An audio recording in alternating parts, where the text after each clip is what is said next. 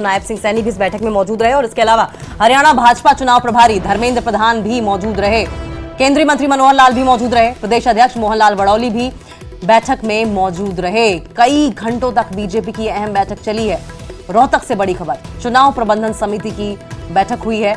भाजपा मुख्यालय में बीजेपी की ये बैठक हुई, हालाँकि एजेंडा क्या रहा इस बैठक का, अभी तक इस बारे में कोई क्लैरिटी नहीं है।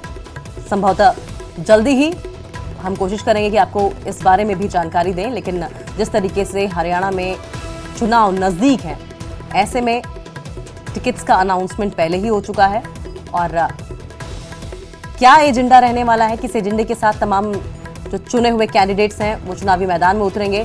इस पर भी चर्चा संभवतः इस मीटिंग में ज़रूर हुई होगी। धर्मेंद्र प्रधान की मौजूदगी बताती है कि कोई खास स्ट्रेटजी ऐसी होगी जो कि इस मीटिंग में डिस्कस की गई होगी, जिसको धरातल पर उतारना होगा। भाजपा मुख्यालय में बीजेपी की मंथन बैठक हुई है। सीएम नायब सिंह सैनी भी इस बैठक में मौजूद रहे। पूर्व मुख्यमंत्री और केंद्रीय मंत्री मनोहर लाल खट्टर हालाँकि इस बैठक में नहीं थे, लेकिन मोहनलाल बडौली की मौजूदगी हमने देखी।